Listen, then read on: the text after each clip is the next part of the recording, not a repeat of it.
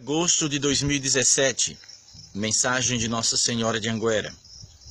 Queridos filhos, voltai-vos àquele que é o vosso caminho, verdade e vida. Cuidai da vossa vida espiritual e em tudo sede como Jesus.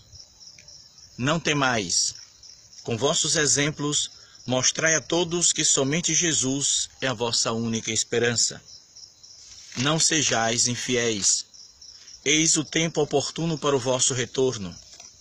Não fiqueis de braços cruzados. O templo de Deus será profanado pelos inimigos, e o que é falso será abraçado como verdade. Sofro por aquilo que vem para vós.